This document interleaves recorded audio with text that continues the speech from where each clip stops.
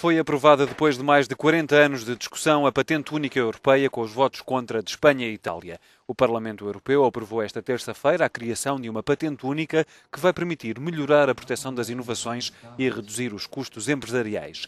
O projeto já tinha sido ratificado pelos ministros da Economia e Indústria de 25 dos 27 países da União e vai beneficiar, sobretudo, as pequenas e médias empresas. É um grande dia, é muito importante para uma melhor integração da Europa, principalmente para a nossa pequena e média indústria inovadora.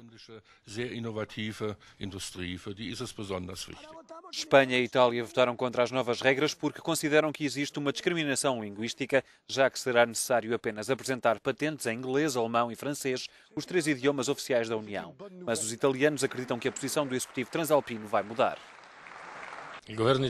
Na altura, o governo de Berlusconi colocou entraves para defender o uso da língua italiana.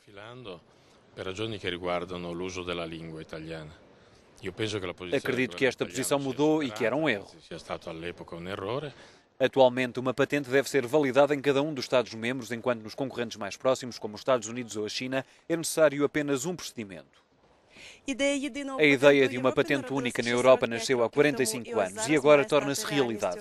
Um presente para os empreendedores, sobretudo em tempos de crise. Natália Richardson-Vikulina, Euronews, Strasbourg.